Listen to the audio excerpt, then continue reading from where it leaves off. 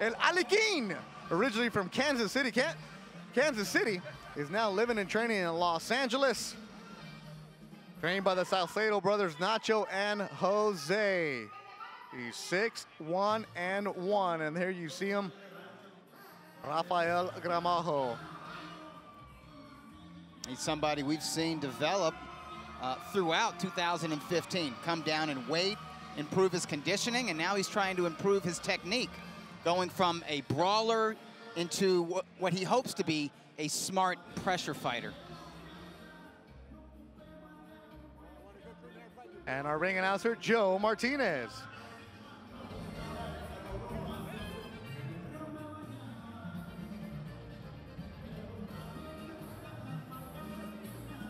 Our ring announcer, Joe Martinez. As they're getting him the mic, there you see Joe right in the ring. So this is where we sit. We're right Yeah. here, blue corner. So when you hear the blue corner giving instructions, yeah, that's uh, you, you got it.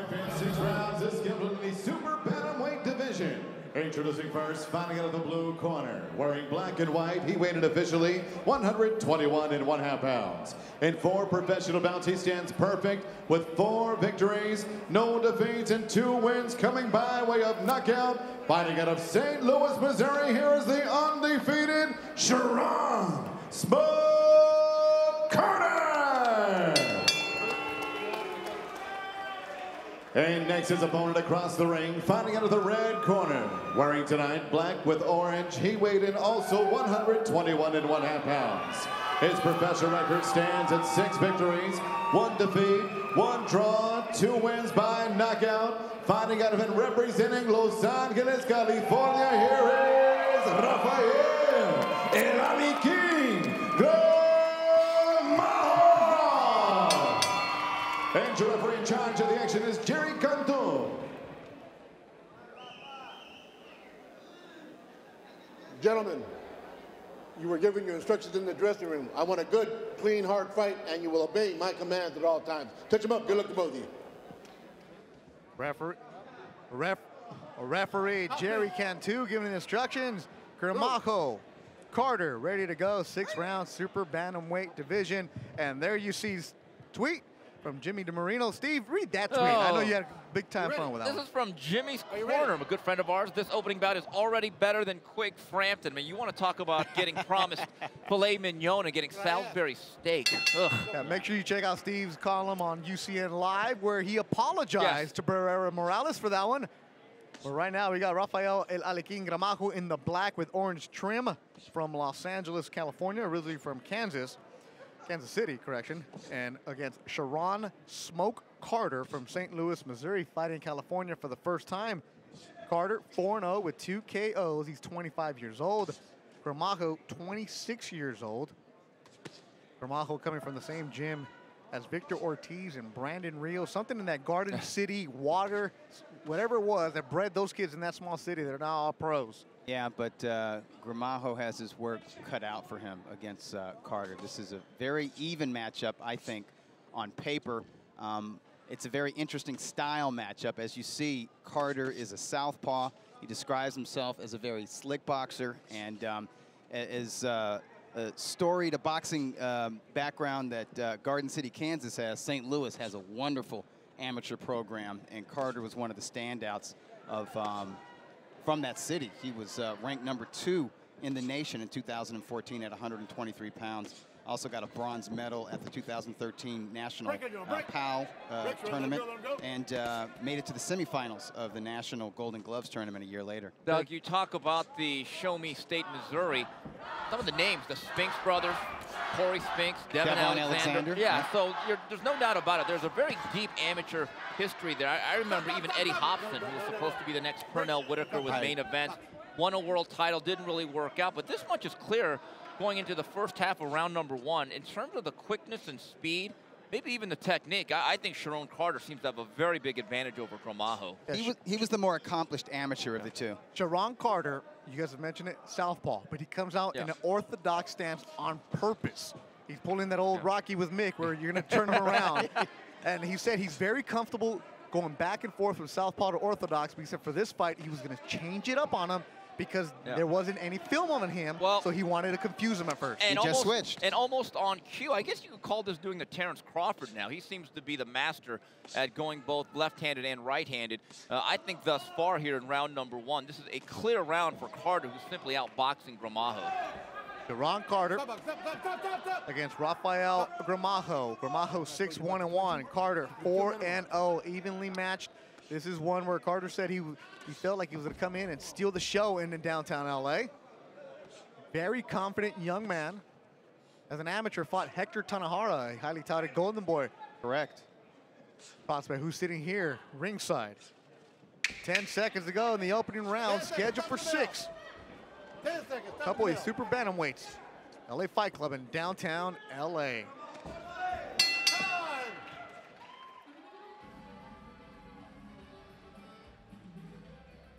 And there you see the replay of Carter. Yeah, it was all Carter in, in the opening round here. He just controlled the distance with his lateral movement. He was the quicker fighter. Consistently beat Gramajo to the punch.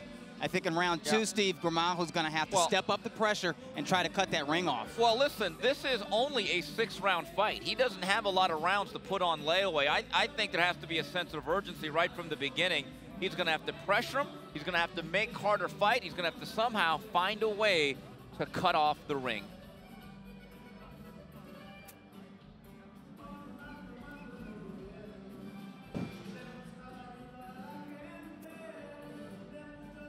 There you see the corner of Rafael and Alequin Gramajo. Alequin means a little rooster, just like little Jerry Seinfeld.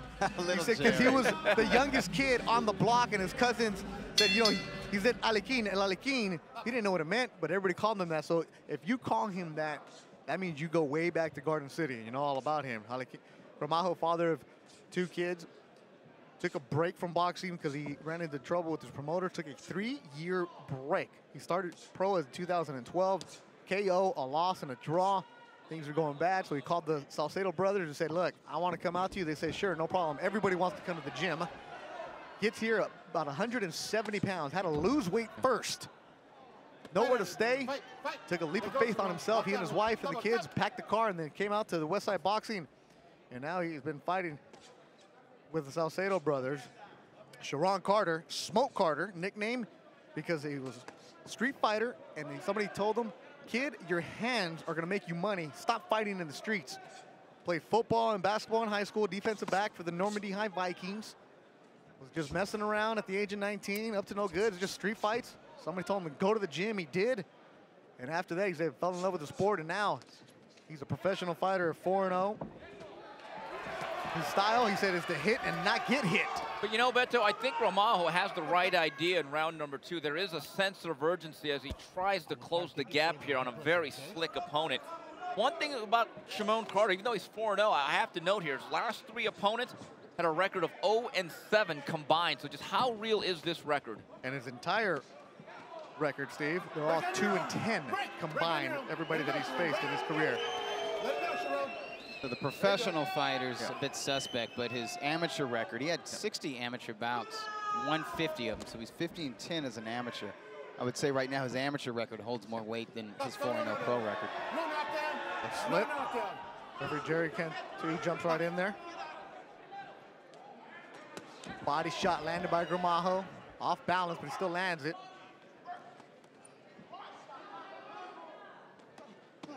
Only six rounds. Nice body work Yeah. from Gramajo. He's going to have to invest to the body. As Carter's not going to stay in there and allow himself to get hit like that. And Carter is moving and he's sticking, but not Yeah. actually landing. All those punches are falling short. No knockdown. No knockdown. Going to need to commit a little bit more to his offense just to get respect. I'm not saying he should abandon the lateral movement because that will work for him, but he's going to have to land some punches if he wants to win this round. And I think it's too late for this round. Here you hear the marching skulls, the West Side Boxing. That's what they call themselves, members of that gym. 10 seconds to go, second round winding down.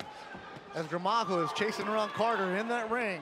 The LA Fight Club in downtown Los Angeles. A representative came to my school talking about the different programs and information security was one. Family, friends, but the best part about graduation day was when I got to announce to my family that I had gotten the job. For some, school is a backup plan, but for me, it was the only plan. And I ended up choosing ITT Tech over other four-year institutions. Scholarships and financial aid are available for students who qualify. Call 800 227 2162. That's 800 227 2162. And Ring TV Live is brought to you by ITT Technical Institute. ITT Tech for the future. Call today, 800-227-2162. Find out more info and schedule that free campus tour. That's 800-227-2162. Headed to the third round between Rafael Gramajo and Sharon Carter.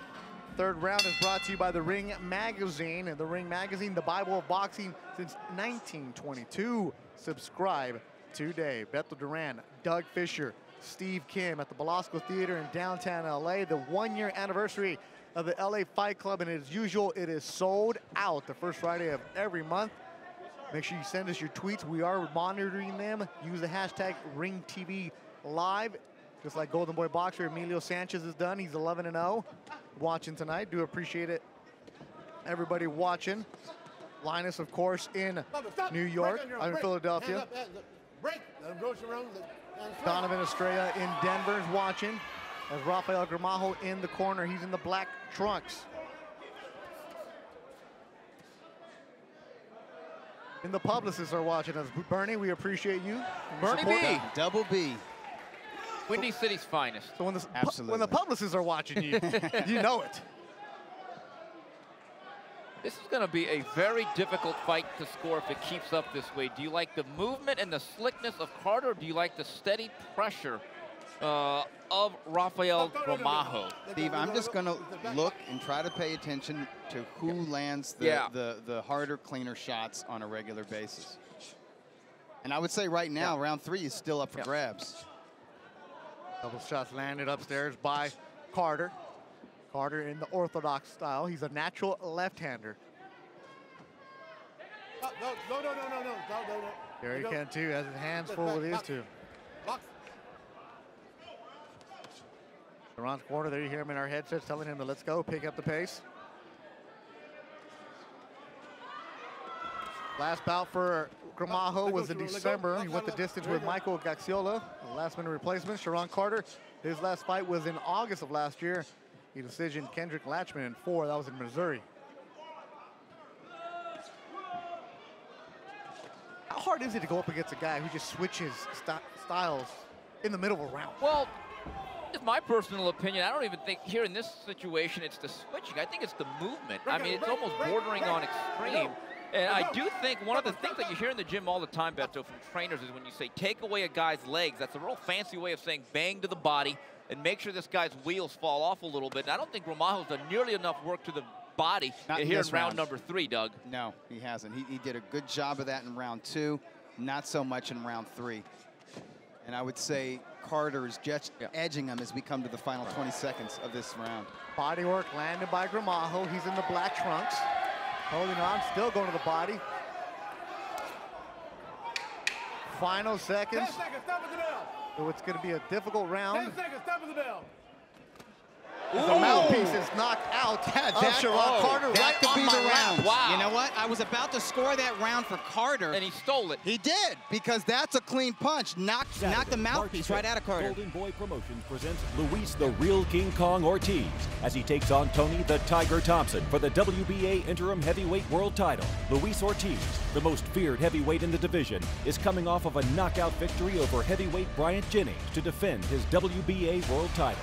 Tony Thompson looks to defeat Ortiz in front of Thompson's hometown crowd and take Ortiz's world title and make it his own.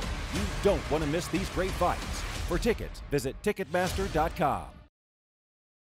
And we're in the fourth round. At the end of that third, the mouthpiece was knocked out right here, right where my hand is at. It landed right here.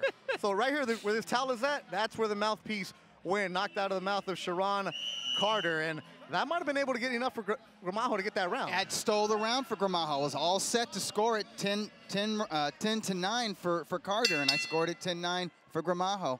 We're done with three How do you have it after three, Doug? Um, I have uh, Carter winning round one and Gramajo winning rounds two and three, but it's a very close fight. Doug, ditto. I have it 29-28 Gramajo, and just like you, I thought for two minutes and 30 seconds, round number three was with Carter. I thought with that late push, including that big right hand, Gramajo wins that round and takes the lead on my scorecard. Sharon Smoke Carter from St. Louis, Missouri. You guys mentioned it earlier, the St. Louis connection with Devon Alexander, Corey Spinks. But obviously he knows those guys, the fighters he looks up to and patterns. Floyd Mayweather, Yeah. Adrien Broner, Bud Crawford, another one of his favorites. You see elements of their style and his style. You know, He's, he's obviously green, but he's, he's trying. You know, it's interesting. If I'm in the corner of Gramajo, what, one thing about Carter, he's very elusive. He's slipping and ducking a lot of punches. Simply just have Gramajo basically aim to the chest and work from the chest down and then work his way up. I agree. I think that's the way you're going to be able to really touch Carter on a consistent basis. And right there, that stuff, that's going to wear down a fighter even in a six-round bout. Carter fighting out of the Cherokee Center in St. Louis. His mom, Tomalar Mosley, watching back home. Gramajo out of the West Side Boxing in Southern California. The Salcedo brothers, the trainers, also manage him.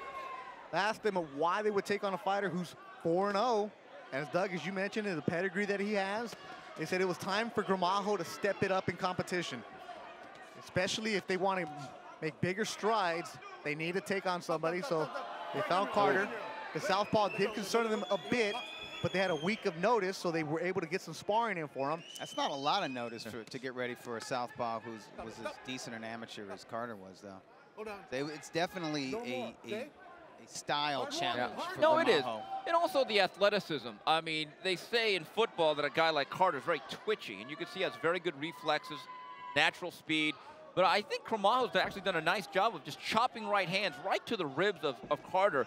And one thing about guys who fight like this, as compared to Gramajo, Carter has to expend much more energy every three minutes let's say Gramajo does, just by using his legs the way he does. And the thing is, when, when Carter is using his legs in the manner he's using them right now, he's not in range to punch No. Gramajo. Gramajo won the first Yeah. minute of this round. If, if Carter has any hope of winning this round, he's got to put hands on No. Gramajo. And we have to be honest about this. Also, Gramajo is from Southern California, and this fight is in L.A. You'd have to think if anyone has the home canvas advantage, it would be him. Carter is the visiting fighter. Been elusive here in this round. Body shot finally landed by Gramajo. 10 seconds to go in the fourth. It's scheduled for six. 10 seconds, stop at the bell. 10 seconds, stop at the bell. Left hand landed by Gramajo. Nice hook. That'll do it for four. Let's look at some replays. Reset this fight. Been a tough one to score. Been, Gramajo lands a jab, followed by a right hand as he gets Carter against the ropes, works Carter's body with the left hook, goes back to the jab, backing the St. Louis southpaw to the ropes. yeah, every time we say southpaw, he's in an orthodox Yeah, stance. Know. Come on, man. St. Louis switch hitter. Work with us here. Let us get the graphics and the coordination right. There you see the Salcedo brothers, Nacho. And there you see them in the fourth round, and we're done with four. And the, the Salcedo brothers, Nacho and Jose, they're working with Gramajo, and Gramajo is a fighter who, as we mentioned, it came in when he first came to Los Angeles, about 170, 180 pounds, had to work at the gym just to make some kind of money because he was living in the hotel for the first couple weeks until he had somewhere to go. And he had to lose weight, was sweeping up around the gym, and the Salcedo brothers said, you, you never know. Guys come in, in Like and out of the gym all Jerome. the time. You don't know exactly what you get with them. Gramajo lost the weight, told him I want to fight. And now he's in a good one against Sharon Carter. Fifth round scheduled for six, and the fifth round is brought to you by ITT Tech. Break out of the break out of the. Let go, Sharon. Stop, And this stop. is a fight break, that just- Break, let go. There you go. Gramajo needs it because, Doug, we've seen Gramajo's last four fights. This is probably the first time that Gramajo has had to chase somebody around the ring. Exactly. He's been in with more aggressive type journeyman fighters, not a young prospect like himself. And so he's, he's not just having to deal with the hand speed and, and the, the lateral movement of Carter, but the holding on the inside. He's, he's learning how to deal with that, how to get around that, how to make it work for him as best he can. stop, stop. Most of the other fighters he's gone up against, like Box. Luis Cosme, Paulo Capul, Michael Gaxiola, had stood in the middle of the ring with him. Let go. No, no, no. No knockdown. And no there you see the Let's go. scores after four rounds. Doug has him 39-37. Steve's card the same. Nice shot landed by Gramajo. He's in the black with the orange trunk, the Pull the head trim. down, Sharon. Doug, I don't know if you agree with me, but I get the sense that at certain points, and I know Carter wants the box, he's going to have to plant his feet at some point, draw the proverbial line in the sand, and land something significant. Gramajo is now just rolling in like the waves. I, there's nothing there really to dissuade him from just consistently closing that gap, and then at certain points being able to bang the body. Like, it's certainly in that instance right there. Hey, I, you know, right now, I think the main thing that, that's separating Gramajo and, and Carter is, is Gramajo's willingness to fight. Yeah. He is coming to fight, and he's being intelligent about it. We're seeing him work his jab on his way in. We're seeing some head movement. These are things he's, Yeah. he told us yesterday before the weigh-in that he wanted to work on. And I will say this, the, the Salcedo brothers have done a good job with Gramajo because I've seen the evolution from this guy who was, I, I would have categorized as a slugger one year Yeah. ago. Break on your own, break And now he is more of uh, an intelligent pressure fighter. And some really good body work here in the last 45 seconds from Gramajo. And, and, you know, as slick as Carter is from the outside and the perimeter of the rim, boy, he is absolutely claustrophobic on the inside, just hanging on for dear life. Right now, I would say um, Carter is just surviving in Yeah. He, he's no longer trying to win, and, and, this and that's too bad because he has talent. First time that Carter's gone more than four rounds, wondering if the conditioning might be a factor. I know his name's Smoke because he's fast, but still got to put in the road work. Hey. Different territory now for Sharon Carter, the fighter from St. Louis. And Rafael Gramajo jumps on in the last seconds of the fifth round. Stop, stop. This one. Okay. And two separates them. We're done with five. We'll be back with six in downtown LA.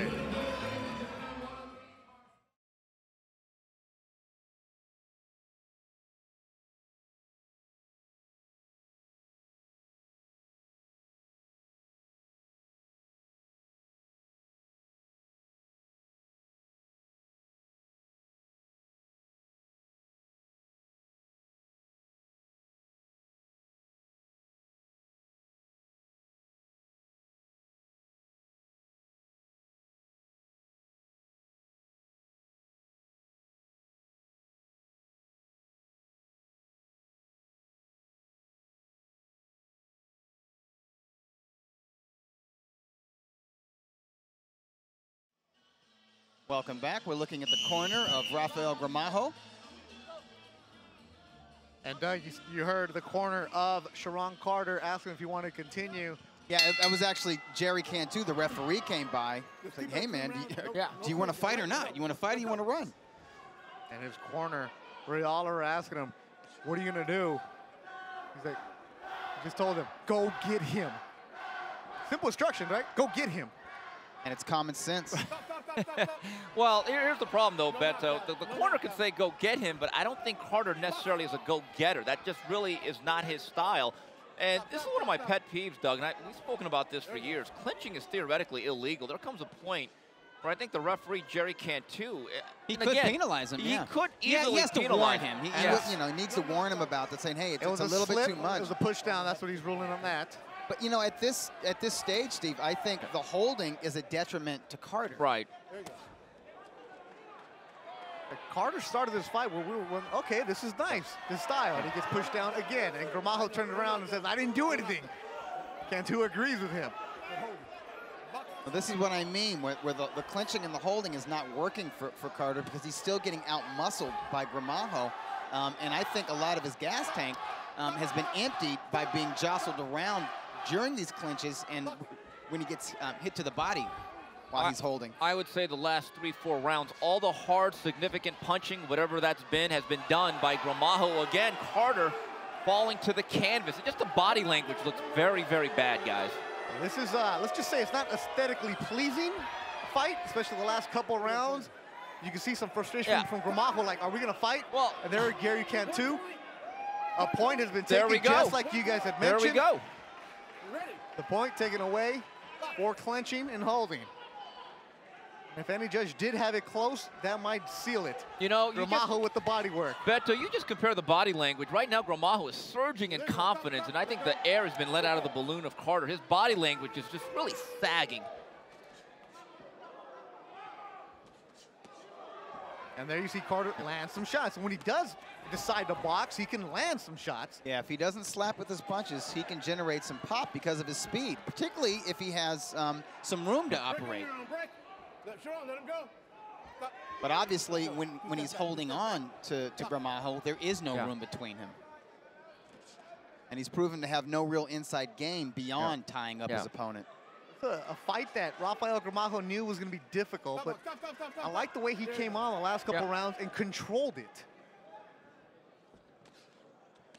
He came to fight.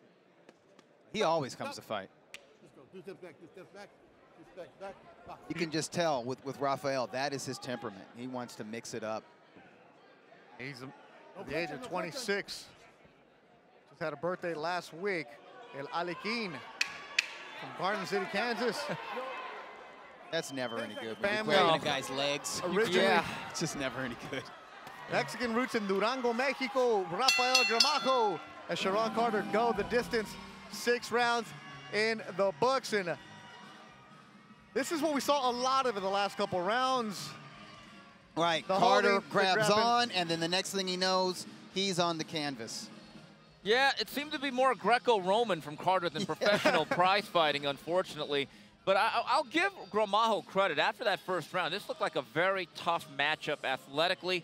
And slowly but surely, I just think he wore him down and slowly imposed his will. Yeah, I thought it was an even fight on paper because of the style matchup and because Carter had a more accomplished amateur background than Gramajo did. But Gramajo, obviously, better suited as a professional Yeah. at this stage of their respective careers.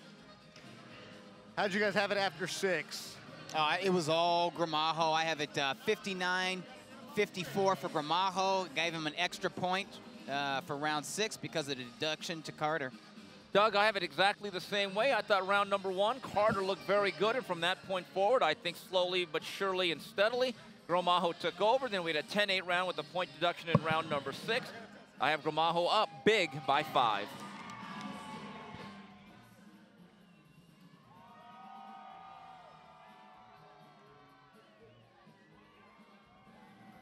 Let's see some highlights from this fight. Early on in the fight, the man in charge was the man from St. Louis, switch hitting, controlling the distance with his lateral movement. But as the fight wore on, we saw more clinching and grabbing from Carter than clean punching. Some nice upper Yeah. body movement Yeah. from Gramajo. He's learning. He's not that stand-up brawler that he was a year ago. He's uh, picking up some wrinkles to his game, and that helped him. Nice uh, sequence from Carter. Carter did have his moments in the fight.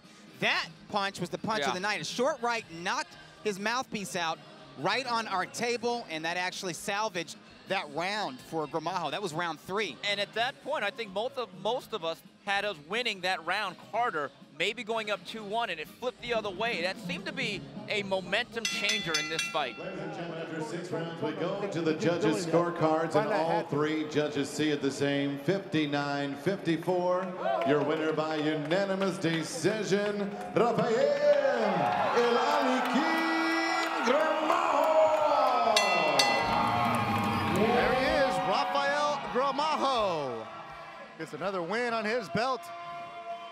He is now 7-1 and 1. Unanimous decision. that you see the marching skulls out of the West Side Boxing in Mid-Cities, Los Angeles. Every single time they have a fighter at a card, you get the fancy shirt. So you go to West Side Boxing, you buy a ticket, you get a shirt. What a deal. And they come out loud and they come out strong and they say their fighter with the win tonight. We're going to be catching up with Rafael Gramajo. Hear his thoughts about that fight. Beto Duran, Doug Fisher, and Steve Kim. Thank you for joining us tonight. Another edition of the LA Fight Club at the Belasco Theater in downtown Los Angeles. The one year anniversary as Rafael Gramajo is getting over to sit down. And there you see him getting ready to go. Rafael Gramajo now 7-1 and 1, trained by the Salcedo brothers. And Rafa, take a chance. Breathe, baby, breathe. We're ready. It was cake, man. it was ga- Oh, six, yeah. six tough rounds. Um, tough maybe rounds. difficult, frustrating at times, right? Frustrating, exactly. That's the word I'm looking for. Uh, you know that running is always a little difficult, not as far as fighting, just as far as you know countering. They make it difficult when they run around the ring. You know, shoot. We got to do our work. You know, we got to attack. I knew that's what I was coming to do. Like I said earlier, uh, I was going to be smarter. a lot smarter. Take You're my going to see some highlights of the fight right here. Tell us what you're seeing.